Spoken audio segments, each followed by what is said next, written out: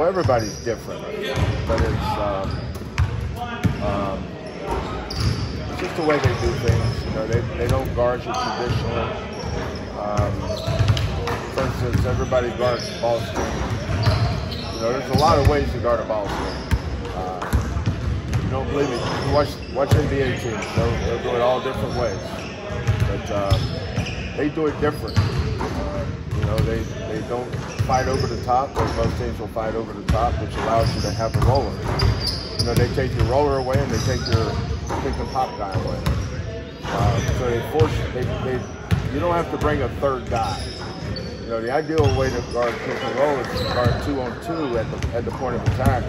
And then everybody can stay matched up around you. But with uh, um, so St. Mary's, that's the way they do it. They, they don't bring a third guy in to help with the roller. Like we bring a third guy in. So at some point we're, two on one versus us some somewhere, you know. But we plan for that, so we have our system, they have theirs. But, um, but you know, you just watch film.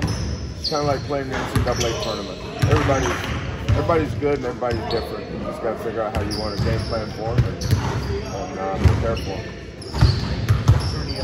Any, how's Jarrett kind of come along? He's fine. Yeah.